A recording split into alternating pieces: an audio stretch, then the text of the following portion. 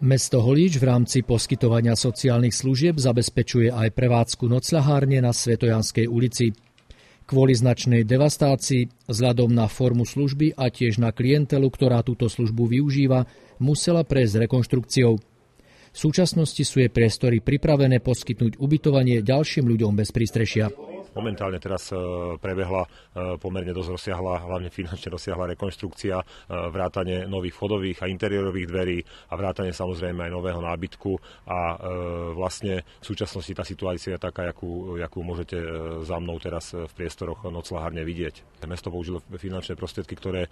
samozrejme jednak aj vlastné a jednak aj zdroje, ktoré pochádzajú zo štátneho rozpočtu formou účelovej dotácie práve na túto formu sociálnej služby, ktorú v meste poskytujeme myslím si, že už bolo nevyhnutné dať do poriadku noclaháreň, aby sme vlastne pred eh, nadchádzajúcou zimnou sezónou, máme celoročne, celoročne otvorenú, ale nad predchádzajúcou zimnou sezónou, aby sme vlastne boli pripravení na to, aby eh,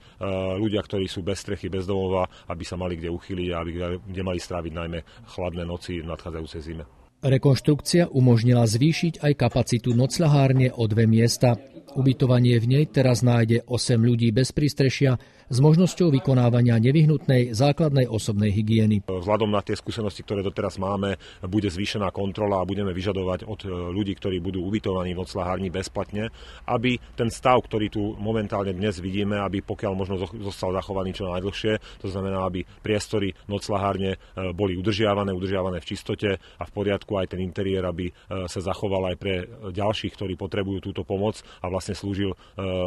čo najdlhšie obdobie.